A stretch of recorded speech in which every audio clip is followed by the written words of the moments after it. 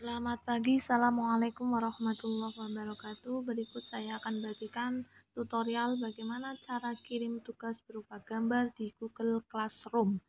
Nah, akan tetapi sebelumnya bantu like, subscribe, komen, dan aktifkan tombol loncengnya untuk perkembangan channel ini ya. Sebelumnya saya ucapkan terima kasih.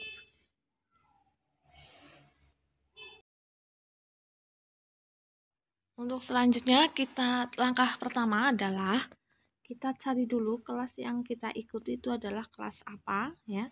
Kelas yang kita ikuti yang akan kita kirimi tugas itu kelas apa. Misalnya di sini saya kelas yang kita ikuti adalah anu kelas ini e, menggambar.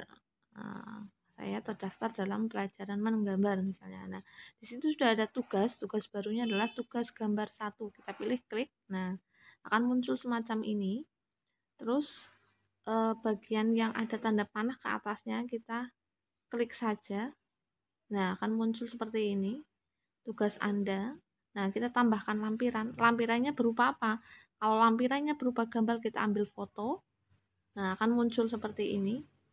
Nah ini fotonya adalah ini kita klik saja ambil foto. Nah akan butuh waktu karena langsung. Kalau enggak ambil di galeri yang sudah difoto. Misalnya foto kita sebelumnya sudah difoto. Akan muncul tombol OK itu kita pilih OK nah kita tunggu sampai siap atau sudah terupload semua fotonya. Kalau sudah terupload fo semua fotonya nanti akan muncul uh, tanda merah itu ada gambar seperti galeri merah itu berarti sudah terupload semua fotonya.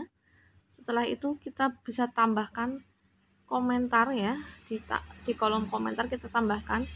Misalnya eh, saya sudah mengirim tugas bu guru atau berikut saya kirim tugas gambarnya bu guru begitu. Nah kita bisa langsung kirim. Itu tombol kirimnya kita klik. Kita klik kirim. Setelah itu kita serahkan tugasnya serahkan pilih serahkan sampai selesai. Nah sudah berarti kita sudah mengirimkan tugasnya ke yang memberi tugas. Seperti itu terima kasih